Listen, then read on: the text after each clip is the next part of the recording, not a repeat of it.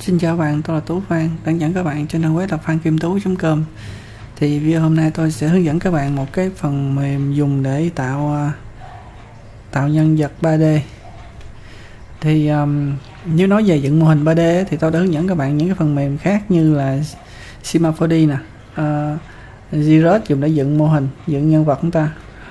Houdini, Houdini thì nó khó hơn, nó chủ yếu là cho việc tạo chuyển động các kỹ xảo điện ảnh nhiều hơn rồi um, video hôm nay chúng ta sẽ nói về cái phần mềm có tên là Fill này. Đây. Uh, ký hiệu uh, cái đây là cái um, socket nè logo nè FS viết tắt của chữ Fill á. Rồi thì uh, thực ra cái này là của cái hãng Adobe nó mua lại của một cái uh, một cái hãng khác thôi. Một cái công ty khác tên là Mismax gì đó. Thì um, hiện tại cái phiên bản này đang là cái phiên bản beta như là phiên bản thử nghiệm bạn. Nên uh, Adobe um, uh, thử nghiệm nó đang nên là cái bản review nên là mình hoàn toàn miễn phí. Các bạn chỉ cần đăng ký một cái tài khoản có tài khoản Adobe á thì các bạn tải về thôi. Tại đây là phiên bản thử nghiệm. Tới hình như là tới khoảng uh, khoảng giữa hay là khoảng giữa năm sau á, là năm uh, tháng 6 tháng 7 tháng 8 gì đó của 2020 vậy thì nó sẽ là bỏ phiên bản uh, beta. Như là chính thức là phiên bản chính thức luôn. Rồi thì um, đây nè. Cái fill là cái phần mềm tạo mô hình nhân vật 3D thì cái phần mềm này tôi cảm thấy nó như là một cái um, một cái cuộc cách mạng luôn bạn về cái dựng mô hình 3D tại sao vậy? Tại vì khi mà các bạn sử dụng những cái phần mềm dựng dựng mô hình 3D khác á, như là như là Cinema 4D hay là Zerus á, để bạn dựng cái mô hình lên. Như là bạn dựng được cái mô hình giả sử tôi nói là nhân vật là người đi ha dựng cái mô hình người đi hoặc là con vật nào đó. Sau khi dựng được rồi đó, thì các bạn hãy tạo chuyển động uh, trong Cinema 4D cũng được hoặc là bạn tạo chuyển động trong cái phần mềm uh, uh, Maya. Các bạn thường hay rành về Bades hay Maya hơn? Rồi thì uh, tạo chuyển động trong Maya thì nó là cái tiêu chuẩn công nghiệp uh, làm phim ở nước ngoài rồi. Thì nhưng mà vấn đề là nó nó cái độ phức tạp nó nó có bạn nó hơi khó. Thì thì khi mà bạn dựng xong cái mô hình 3D rồi á cái việc đơn giản á là ở trong nhân vật này nè phim này nè hiện tại nó chỉ là dựng nhân vật người thôi các bạn. Không có dựng được những cái mẫu nhân vật khác hiện tại đang là dựng sẵn người thôi các bạn muốn ờ, những mẫu nhân vật khác các bạn, bắt buộc bạn phải sử dụng những cái phần mềm khác. Bạn dựng, sau đó bạn nhập vào cái phần mềm fill này. Bởi cái file ờ, cái file 3D có tên là .obj á. Để các bạn có thể là sử dụng những cái mẫu nhân vật riêng của bạn tự tạo. Rồi sau khi bạn có được cái mẫu nhân vật rồi á, thì các bạn sẽ upload tên cái trang web. Cái trang web của cái công ty mà của cái Adobe này mua lên nè. Rồi sau đó bạn sử dụng cái trang web đó, nó sẽ tự động thực hiện cho chúng ta cái thao tác rất là hay. Đó là gắn xương và tạo chuyển động. Hầu như là tất cả các chuyển động nó đều có hết các bạn. Bạn thấy hay chưa? Trong khi cái việc khó khăn nhất trong cái việc uh, um, làm làm game á làm game hay là làm phim á là cái việc chúng ta dựng mô hình 3D sẽ đó là tạo chuyển động cho nó đẹp. Trong khi đây nó làm sẵn cho chúng ta rồi ha? Bởi vì tôi mới gọi đây là một cái cuộc cách mạng luôn. Thì à, đối với những các bạn mà làm à, dạng nghiệp dư dạng làm làm dạng cá nhân các bạn thì chúng ta không có quá nhiều nhân lực để chúng ta làm những cái chuyện mà gắn xương hay tạo chuyển động sau đó chúng ta phải viết code đồ này nọ nữa. Thì ờ, chúng ta có thể sử dụng cái phần mềm này hỗ trợ cho bên cái việc làm đồ họa chuyển động. Sau đó chúng ta sẽ kết hợp với bên ờ, những cái phần mềm làm game như là Unity hay là à, những cái phần mềm lập trình đó để chúng ta làm game ra dễ. Rồi thì à, nói sơ rồi bây giờ tôi sẽ xem thử nè. Đây tôi có để cho bạn một cái video demo để xem thử cái cái cách người ta làm như thế nào đối với phần mềm này ờ quên đó đây là video tôi lấy trên youtube nên tôi không có bắt được quên đó. nếu tôi bắt lên phần âm thanh nó sẽ bị dính bản quyền. Tôi quên đó ha. Uh, ok. Nó thì đại khái nó sẽ dựng ra những cái nhân vật 3D như thế này. Nó. Rồi ok ha. Sau đó sẽ tạo chuyển động nè. Rồi thì bạn hãy tự lên đây tìm hiểu thêm. Uhm, à, xong rồi giới thiệu xong rồi bây giờ chúng ta sẽ tới cái phần gọi là cài đặt ha. Uhm, thì bạn cứ lên trên Google và đánh cho tôi cái chữ Adobe Film nè. Thì nó sẽ ra được cái ờ, cái tới cái phần mềm thôi phần mềm của Adobe thôi um, đây. Sau đó các bạn ờ, chỉ cần đăng nhập tài khoản lên cái ờ, tài khoản Adobe thôi thì bạn tải về thôi bạn. Download là tải về thôi. Đây là do đây đang đang là sử dụng cái phiên bản còn là thử nghiệm bản review á là bản beta này thấy chưa? Beta đây bản thử nghiệm thôi. Nên nó hoàn toàn miễn phí các bạn. Rồi à, cài đặt sau khi bạn cài đặt xong rồi á, thì à, thật ra nói về phần cài đặt á, thì bạn chúng ta sẽ cài đặt chính thống từ ờ, từ Adobe các bạn?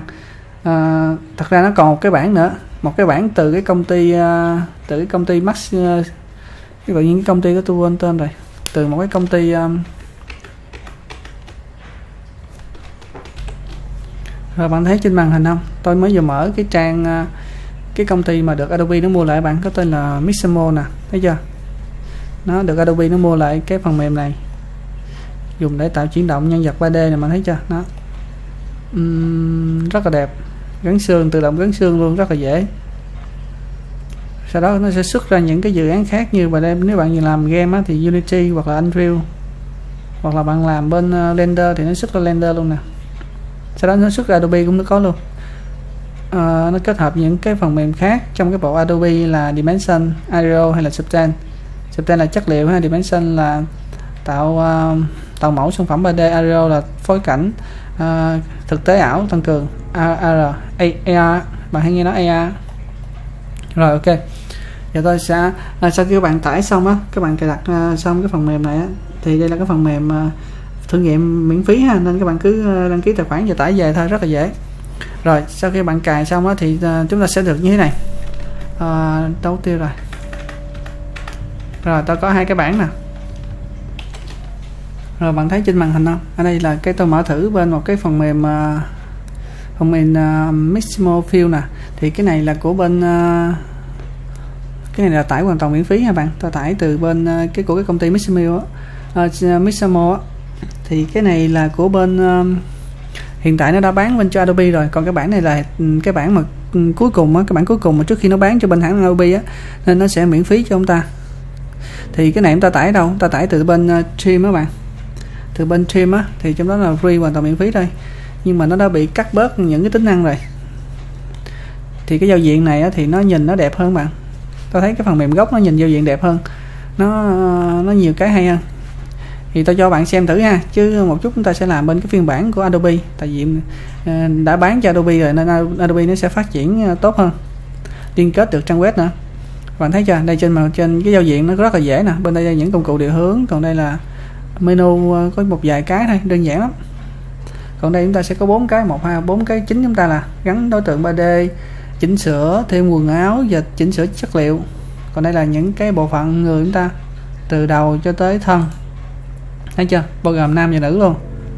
Thì um, sẵn điện tôi tôi tôi cho tôi xin khoảng một phút ha.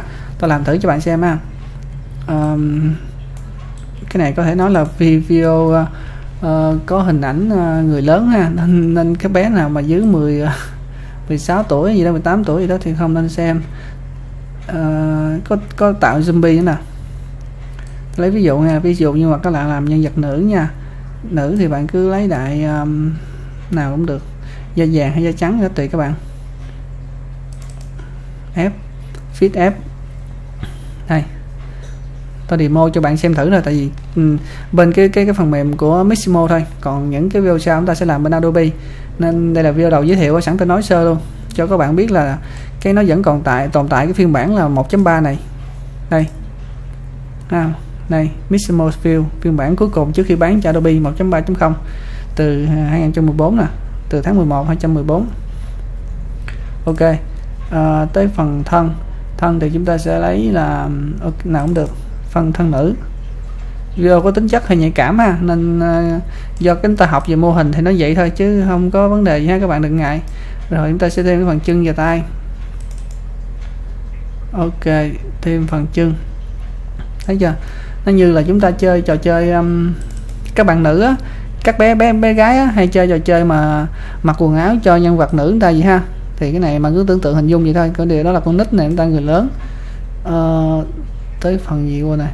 Tay chân rõ chưa rồi chúng ta sẽ tới nhanh tới phần quần áo đi chứ để như thế này nhìn nhìn hơi khó chịu. Này. Uhm, ok. Áo sơ mi. Bằng bằng váy bằng đầm gì cũng được chọn những mẫu này nè. Nó. Ok ha. Lịch sự hơn thì như thế này. Lưới hành nữ thì chọn váy nữ còn đồng trang phục nữ trang phục nam ok ta chọn được cái um, uh, gì thì tôi thấy nó ẻo lão á như thế này đi. Ok cái, cái video này video đầu giới thiệu ha các bạn xem ha. Tôi xin bạn vài phút thôi tôi demo cho bạn thôi bạn xem thôi cứ không cần làm theo đâu. Tôi thêm cái phần uh, rồi thêm cái phần quần quần cho cô này nữa cho nó lịch sự một tí. Ok uh, bộ trang phục công sở như thế này đi. Màu sắc thì chúng ta phải sửa sao các bạn? Bạn có thể chọn là màu nào cũng được. Hình như là nó hợp với cái này hơn á. Ok nhưng mà đây là một bộ. Nhìn ok ha. Rồi. Uh, chúng ta sẽ tới được cái gì? Hmm, Đôi hài. Bạn cứ tưởng tượng như chúng ta đang chơi uh, chơi cái game mini mà trên mạng ha, giống như thay trang phục á. Hình như là không không hợp cho máy ha. Chúng ta nên mang hài hay là mang gút câu gót gì đó nó sẽ hợp lý hơn. Rồi ok cho tông xịt tông đỏ luôn ha. Rồi à, tóc. Tóc thì bạn muốn cho kiểu nào? Như thế này. À, hay này. Hay là như vậy?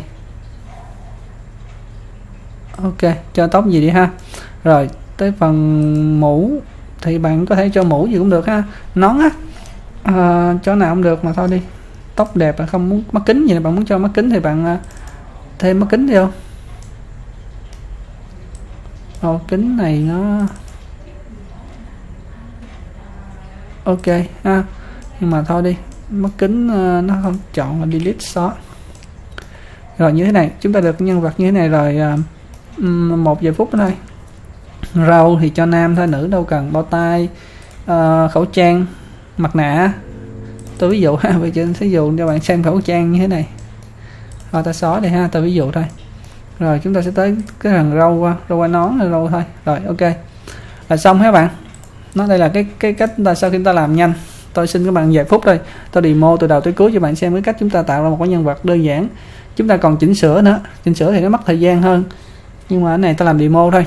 Rồi à, đối với cái đây là cái phần mềm mà ờ, Maximo Fill trước khi nó bán cho Adobe nên à, đúng ra thì chúng ta sẽ có chức năng là anime này bạn click vào đây để nó tải cái cái mẫu nhân vật chúng ta lên cái trang web để nó thực hiện cái việc mà tự động gắn xương. Gắn xương để tạo chuyển động các bạn.